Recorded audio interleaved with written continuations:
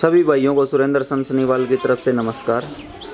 आज हम कैथल ज़िले में हैं और ये पशु दिखाएँ आपको, ये भैंस अभी ब्याने वाली है लगभग दस एक दिन में।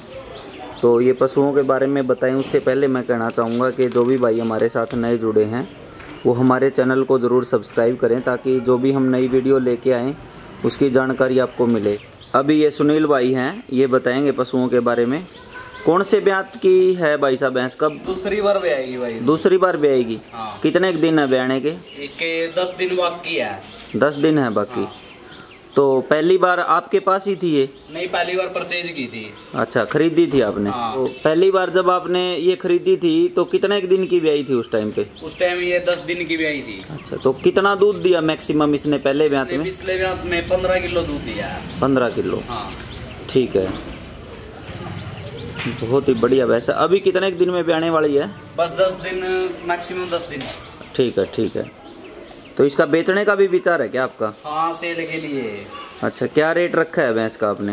इसके एक लाख पचहत्तर हज़ार रुपये है।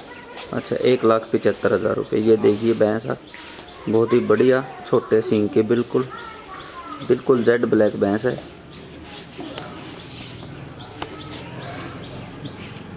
और जो अडर की क्वालिटी है, थनों की क्वालिटी है, वो काफ़ी बढ़िया देगी। थनों का ये देखिए दस दिन के बाद जब ब्याएगी भैंस तो अडर बढ़िया बन जाएगा। थनों का गैप काफ़ी बढ़िया है और बिल्कुल चारों थन अलग अलग हैं और एक एक साइज़ के हैं चारों थन। ये देखिए। एक थोड़ी सी पूंछ ज़्यादा सफ़ेद है भैंस की। बाकी बिल्कुल फिट है। तो इस बार क्या उम्मीद करते हो भाई साहब? कितना दूध निकाल देगी? इसका उम्मीद 20 प्लस की मान रहा है। 20 नहीं 20 तो पक्का है। नहीं 20 से प्लस की उम्मीद है इसकी। अच्छा बीस किलो दूध देने की उम्मीद है भाई की। ये कटड़ा भी इसी भैंस का है क्या? हाँ ये पिछले ब्यात का है इसका करके में।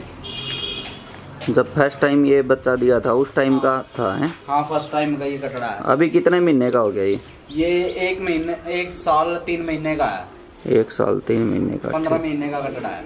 अच्छा पंद्रह महीने का ठीक है। इसका भी बेचने का विचार है क्या? नहीं इसको नहीं बेचते।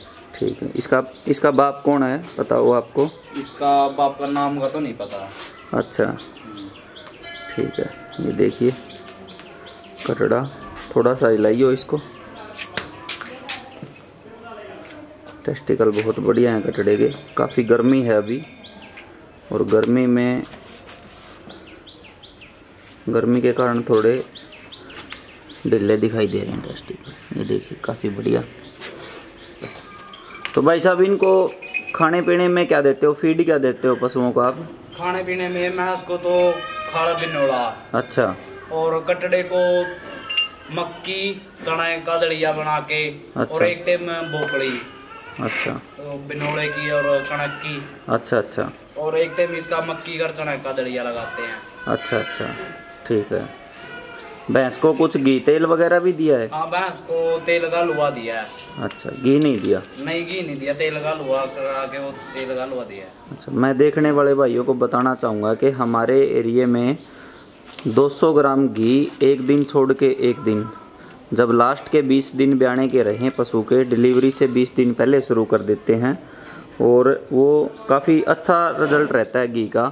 कोई थनों की बीमारी हो पिछले ब्यात में, या कोई और समस्या हो थोड़ी बहुत तो वो बिल्कुल ठीक हो जाती है। तो देखने वाले भाइयों को मैं कहना चाहूँगा कि 200 ग्राम देसी घी, डालडा वगैरह नहीं, देसी घी जो घर का बना हुआ है वो 200 ग्राम घी एक दिन छोड़ के एक दिन पशुओं को दें तो काफ़ी अच्छा रहेगा। तो भाई का सेल करने का विचार है, मैं नंबर भी दूँगा साथ में भाई का और इन्होंने एक लाख पचहत्तर हज़ार रुपये रेट रखा है भैंस का। तो जो भी भाई लेने का इच्छुक हो, वो भाई से बात करे। भैंस काफ़ी अच्छी है, वज़न काफ़ी बढ़िया है भैंस में, सींग छोटा है, वो सारी बातें मैंने आपको बता दी हैं।